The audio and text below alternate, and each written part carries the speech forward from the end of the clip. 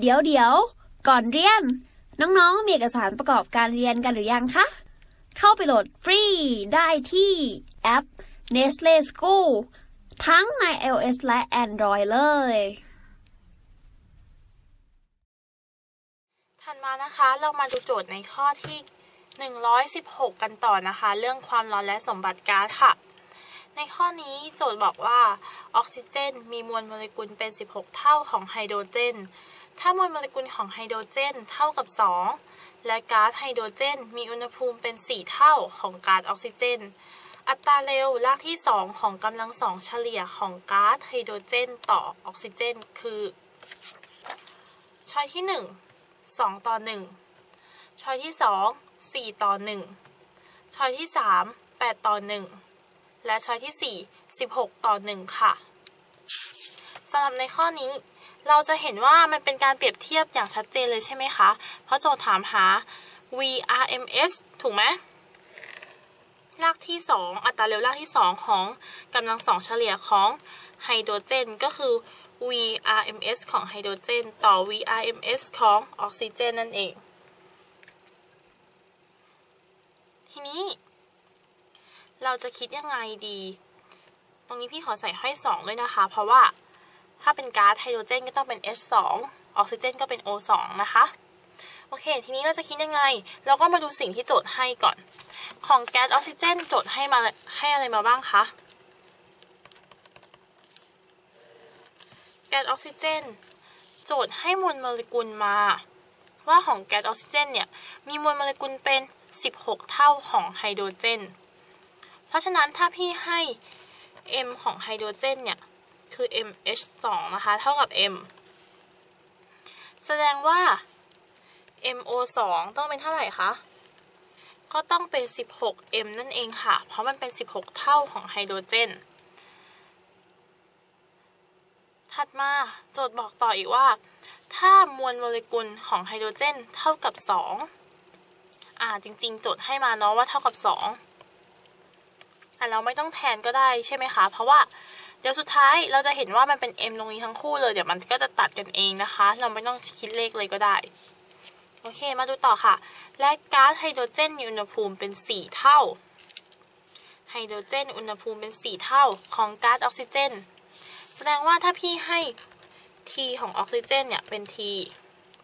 เพราะฉะนั้น T ของไฮโดรเจนต้องเท่ากับเท่าไหร่คะ เท่าไหร่เอ่ย4เท่าก็ต้องเป็น 4T นั่นเองค่ะ ในตอนนี้เราได้ความสัมพันธ์แบบนี้มาละ แล้วโจทย์ถามหาว่า V RMS ของไฮโดรเจนต่อออกซิเจนเป็นเท่าไหร่ เราก็ต้องมาดูว่า อะไรล่ะ ความสัมพันธ์อะไรที่เชื่อมระหว่าง V M แล้วก็ T ซึ่งถ้าเรามาดูในตรงนี้ หรือถ้าน้องจำได้เนี่ย น้องจะรู้เลยว่าต้องใช้อะไรคะ VRMS เท่ากับ square root 3 RT ส่วน M นั่นเองค่ะ พี่ขอเขียนลงไปเลยนะ ว่าจาก VRMS เท่ากับ square root 3 RT ส่วน M น้องๆ จะเห็นว่า 3R เนี่ย มันเป็นค่าคงที่สำหรับ 2ก๊าซนี้อยู่แล้ว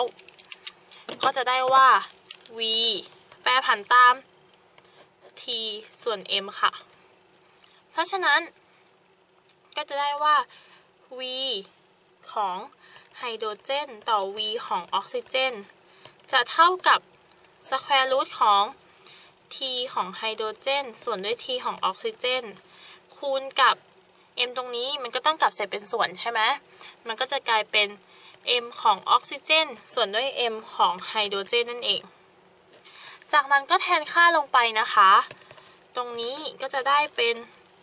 t ไฮโดรเจนคือ 4t t ออกซิเจนคือ t m ของออกซิเจนคือ 16 และ m ของไฮโดรเจนนะคะ ตรงนี้เป็น 16m m ของไฮโดรเจนคือ m ทีนี้เหลือแค่คิดเลขค่ะ เราก็จะได้เป็น t ตัดกับ t ใช่ไหมคะ m ก็ตัดกับ m ถอดสแควร์รูทออกมา จะได้เป็น 8 ส่วน 1 ใช่ไหมคะ ตอนนี้เราจึงได้คำตอบมาแล้วว่า อัตราเร็วของก๊าซ ไฮโดรเจนต่อออกซิเจนคือ 8 ต่อ 1 ค่ะ ในข้อนี้จึงตอบ 8 ต่อ 1 ซึ่งตรงกับช้อยที่ 3 นั่นเอง ในข้อนี้เราจึงตอบข้อที่ 3 นะคะ ทันนะ เรามาดูสรุปกันอีกรอบนึงค่ะ ในข้อนี้โจทย์ถามหาอัตราเร็วลากที่ 2 ของกำลังสองเฉลี่ยของก๊าซไฮโดรเจน ต่อก๊าซออกซิเจน โดยโจทย์ได้ให้ข้อมูลของก๊าซออกซิเจนมาว่าเป็น 16 มวลมวลโมเลกุลเนี่ยมีเป็น 16 เท่าของไฮโดรเจน พี่จึงให้ไฮโดรเจนเป็น m ของออกซิเจนจึงเป็น 16m เช่นเดียวกันไฮโดรเจนเนี่ยเป็นอุณหภูมิเนี่ยเป็น 4 เท่าของออกซิเจน และพี่จึงให้ออกซิเจนเป็น T ของไฮโดรเจนจึงเป็น 4T แต่ V เนี่ยมีความสัมพันธ์กับ T กับ M ดังนี้ นั่นก็คือ square root 3RT ส่วน M แต่ 3R เป็นค่าคงที่ จึงได้ว่า V แปรผันตาม square root T ส่วน M ทำให้เราได้ความสัมพันธ์นี้มาค่ะ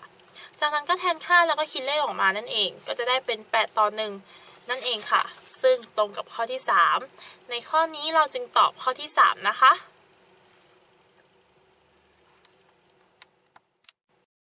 เรียนจบแล้ว อย่าลืม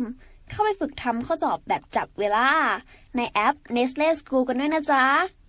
ถ้าน้องๆมีคำถามสงสัย ไม่เข้าใจตรงไหน ถามว่าในแอปได้เลย แล้วพี่ๆจะรีบเข้าไปตอบให้นะคะ กินไอติมวินจีแล้วเป็นเด็กดี ตั้งใจเรียนกันนะคะ